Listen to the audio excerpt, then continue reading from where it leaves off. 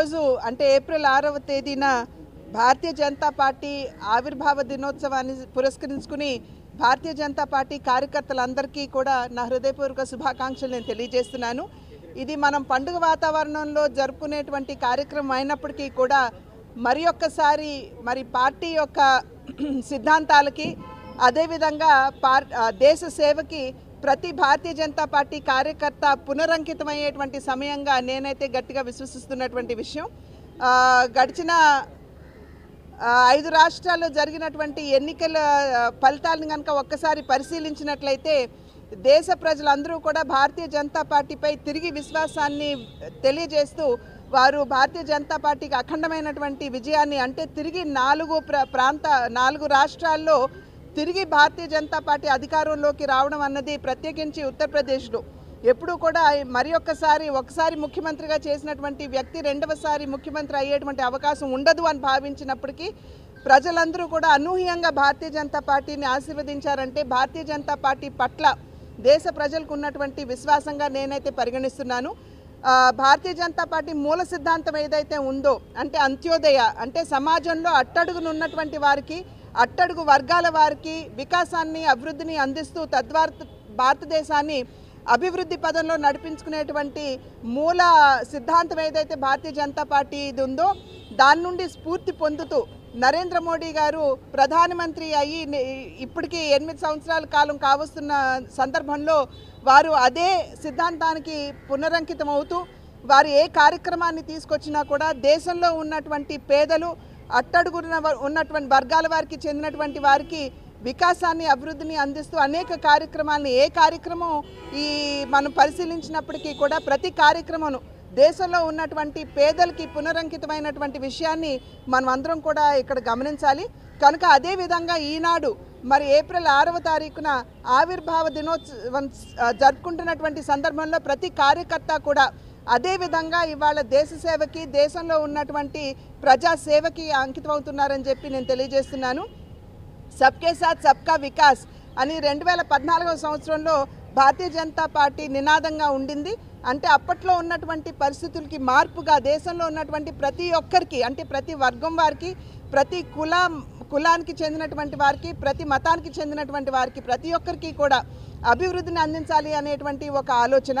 అదేవిధంగా రెండు వేల పంతొమ్మిదవ సంవత్సరంలో తిరిగి ఎన్నికలకు వెళ్ళినటువంటి సందర్భంలో సబ్కే సాత్ సబ్కా వికాస్ సబ్కా విశ్వాస్ అంటే ప్రజల యొక్క విశ్వాసాన్ని చూరగొన్న నేపథ్యంలో ఆ యొక్క నినాదంతో భారతీయ జనతా పార్టీ ముందుకు వచ్చింది అయితే ఇవాళ ప్రధాని నరేంద్ర మోడీ గారు చెప్పేటువంటి విషయం ఏమిటంటే సబ్కే సాత్ సబ్కా వికాస్ సబ్కా విశ్వాస్ సబ్కా ప్రయాస్ అంటే ప్రతి ఒక్కర భాగస్వామ్యం లేనిదే భారతీయ జనతా పార్టీ ఈ స్థాయికి వచ్చేటువంటి అవకాశం లేదు అని చెప్పేటువంటి విషయాన్ని వారు ప్రస్ఫుటంగా తెలియజేశారు. అంటే దీని అర్థం ఏమిటంటే భారతీయ జనతా పార్టీ ప్రతి కార్యకర్త కూడా అదే అంకిత భావంతో పనిచేసినటువంటి సందర్భంలోనే కేవలం ఇద్దరు పార్లమెంట్ సభ్యులుగా ప్రారంభమైనటువంటి భారతీయ జనతా పార్టీ ప్రస్థానం ఇవాళ మూడు వందల మూడు పార్లమెంట్ సభ్యుల్ని గెలిపించుకునే స్థాయికి ఎదిగిందంటే ప్రతి కార్యకర్త యొక్క ప్రయాస అంటే వారి యొక్క అంకిత భావంతో పనిచేసినటువంటి సందర్భంలో వారి యొక్క కృషి ఉన్నటువంటి నేపథ్యంలోనే అది సాధ్యపడింది అని చెప్పి తెలియజేస్తున్నారు. కనుక తిరిగి ఇవాళ రోజున భారతీయ జనతా పార్టీ అదేవిధంగా ప్రతి కార్యకర్త యొక్క అభివృద్ధిని వారి యొక్క సంతోషాన్ని ఆకాంక్షిస్తూ వారి ద్వారా భారతదేశ సేవకి పునరంకితం అవుతామని చెప్పి మేము మేము తెలియజేసుకుంటున్నాం. గడిచినటువంటి కాలంలో కరోనా కాలంలో సైతం మహమ్మారి మన ముందు ఉన్నప్పటికీ కూడా ఏమాత్రం భయపడకుండా ప్రతి భారతీయ జనతా పార్టీ కార్యకర్త అంటే ఒక రకంగా చెప్పాలంటే ప్రతి రాజకీయ పార్టీ ఐసీయూలో ఉన్ ఉన్నదేమో అనేటువంటి భావన కలిగినప్పటికీ ప్రతి భారతీయ జనతా పార్టీ కార్యకర్త కూడా ధైర్యంగా ముందుకు వచ్చి దేశ సేవకి అంకితం అయ్యారు అని అంటే ఏ విధంగా భారతీయ జనతా పార్టీ దేశ సేవకి ప్రజా సేవకి అంకితమైందో మనం అందరం కూడా గమనించాలి. సాధారణంగా చెప్పాలంటే మనకి అధికార దాహం అనేది ఇవాళ రాష్ట్రంలో మనం చూస్తున్నాం.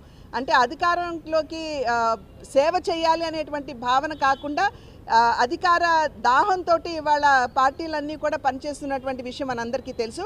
భారతీయ జనతా పార్టీ కూడా అధికారంలోకి రావాలి అని భావించినప్పటికీ అది అధికార దాహంతో కాదు అధికారాన్ని ఒక మాధ్యమంగా ప్రజాసేవ చేసేటువంటి మాధ్యమంగా భావిస్తూ భారతీయ జనతా పార్టీ రాబోయేటువంటి కాలంలో తన ప్రస్థానాన్ని కొనసాగిస్తుంది. ఖచ్చితంగా రాష్ట్రంలో ఉన్నటువంటి పరిస్థితుల్ని మార్పు కా ఆకాంక్షించేటువంటి ప్రజీ ప్రతి పౌరుడు కూడా ఇవాళ ఖచ్చితంగా భారతీయ జనతా పార్టీని రాబోయేటువంటి కాలంలో ఆశీర్వదిస్తారు అనేటువంటి నమ్మకం విశ్వాసం మాకుంది. జై నో స్ట్రాటజీ అనేది మేము సాధారణంగా మేము చర్చించుకుని నిర్ణయించుకునేటువంటి విషయం అండి. అది సాధారణంగా మీడియాలో మేము మేము చర్చించేటువంటి విషయం కాదు. అయినప్పటికీ కూడా నేను ఇంతకుముందు ఇంతకు ముందు చెప్పినట్టుగానే యథావిధిగా మేము ఏ రకంగా అయితే ప్రజాసేవకు అంకితం అవుతూ అదేవిధంగా ఆంధ్ర రాష్ట్ర అభివృద్ధికి అంకితం అవుతూ ఒక రకంగా చెప్పాలంటే పోయిన ఎన్నికల్లో మమ్మల్ని ఆశీర్వదించకపోయినా కూడా ఏమాత్రం ఆంధ్ర రాష్ట్రానికి అన్యాయం జరగకూడదు అనేటువంటి ఆలోచనతోటి రాష్ట్రానికి అన్ని విధాలా కూడా తన సహకారాన్ని కేంద్రం అందిస్తుంది. నిజం చెప్పాలంటే ఇవాళ రాష్ట్రంలో జరిగే ప్రతి అభివృద్ధి కార్యక్రమంలో కూడా కేంద్ర ప్రభుత్వం యొక్క సింహ భాగస్వామ్యం ఉన్నది అనేటువంటి విషయం ప్రజలు గమనిస్తున్నారని చెప్పి నేను విశ్వసిస్తున్నాను. మరి ఇవాళ రాష్ట్రంలో చూసినటువంటి పరిస్థితులు రాష్ట్రంలో ఉన్నటువంటి పరిస్థితులు కనుక పరిశీలించినట్లయితే మన పెట్టుబడులు వచ్చేటువంటి అవకాశం లేదు. అభివృద్ధి అనేది వెనక్కి పడిపోయినటువంటి నెట్టబడి నెట్టబడినటువంటి విషయం. కనుక అటువంటి నేపథ్యంలో అన్ని విధాలా కూడా కేంద్రం తన సహకారాన్ని ఆంధ్ర రాష్ట్రానికి అందిస్తున్నటువంటి సందర్భంలో ఖచ్చితంగా ప్రజలు ఆశీర్వదిస్తారని నమ్ముతున్నాను.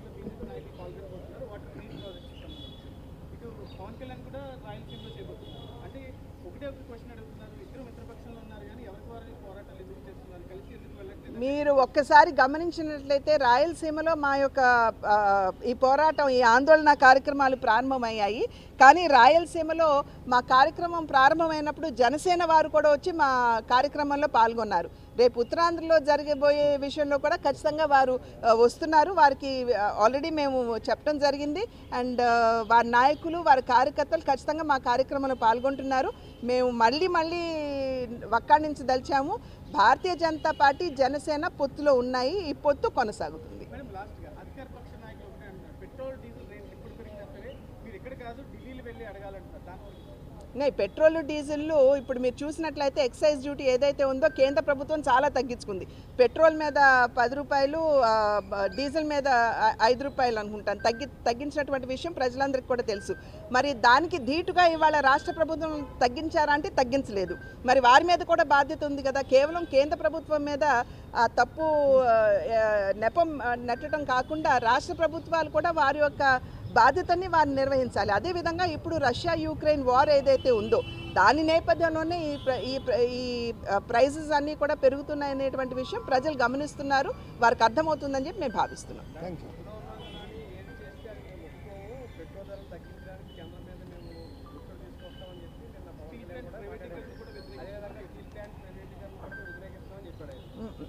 ఇప్పుడు ఏదన్నా ఉన్నా కూడా వారికి వారు బాహ్యంగా చెప్పటం ఒకటి వచ్చి మాతో మాట్లాడటం ఒకటి. డెఫినెట్గా వారు కనుక ఆ విషయాలు తీసుకుని మా దగ్గరికి వస్తే వారికి అన్ని విషయాలు కూడా మేము అర్థమయ్యేలాగా మేము తెలియజేసేటువంటి నేపథ్యం. వైజాగ్ స్టీల్ ప్లాంట్ అయితే నేను ఖచ్చితంగా నేను తెలియజేస్తున్నాను. వైజాగ్ స్టీల్ ప్లాంట్ ప్రైవేటీకరణ అని చెప్పి అంటున్నారు. మరి ఇక్కడ రాష్ట్ర ప్రభుత్వం అనేక సంస్థలు ఇప్పుడు ఇక్కడ ఉన్నటువంటి షుగర్ ఫ్యాక్టరీస్ కావచ్చు డైరీస్ కావచ్చు వాటన్నిటినీ కూడా అమ్ముతు అమ్మేశాయి. మరి వాటి గురించి ఇక్కడ అసలు ఎవరూ కూడా గళ్ళం ఎత్తేటువంటి అవకాశం లేదు. ఇవాళ స్టీల్ ప్లాంట్ ప్రైవేటీకరణ చేస్తున్నారంటే స్టీల్ ప్లాంట్ పునాదులతో సహా పెకలించేసి తీసుకువెళ్ళేటువంటి పరిస్థితి కాదు. స్టీల్ ప్లాంట్ అక్కడే ఉంటుంది. కాకపోతే యాజమాన్యం మారుతుంది. ప్రైవేటీకరణ అంటే ప్రైవేట్ ప్లేయర్స్ వస్తే కనుక ఖచ్చితంగా టెక్నాలజీ కూడా ఇంప్రూవ్ అయ్యేటువంటి అవకాశం ఉంటుందనేటువంటి ఒక భావన. అది మాత్రమే కాకుండా మోడీ గారు స్వయంగా చెప్పారు government has no business to stay in business అని మోడీ గారు స్వయంగా చెప్పారు. ప్రభుత్వాల యొక్క దృష్టి అంతా కూడా ఏ విధంగా సుపరిపాలనని దేశానికి సుపరిపాలన రాష్ట్రానికి అందించాలి అనేటువంటి దిశగా ఉండాలి. అదే దిశగా ఆ ఆలోచనని దృష్టిని కేంద్రీకరిస్తూ కేంద్ర ప్రభుత్వం ముందుకు వెళ్ళింది థ్యాంక్ యూ నేను సింపుల్గా అంటలేదండి ఐఎమ్ సారీ సోమవీర్రాజు గారు కూడా దాని మీద ఒక ఆలోచన చేస్తామని ఇదే రోజున ఇవాళ విశాఖ మేము ఇప్పుడు కాదు మేము రెండు మూడు సార్లు మేము మంత్రుల్ని కలవటం జరిగిందండి. వారికి కూడా ఈ విషయాలన్నింటినీ కూడా చెప్పడం జరిగింది. మీరు ఇందాక అన్నారు చాలా సులు సునాయాసంగా మీరు సునాయాసంగా ఎవరు తీసివేయలేదండి. కొంచెం ఆ- ఆ పదం మార్చుకుంటే బాగుంటుందని నా యొక్క అభిప్రాయం. మేము చెప్ ప్రజల్లో ఉన్నటువంటి ఆందోళనని మేము నివృత్తి చేస్తున్నాం. Thank you Modi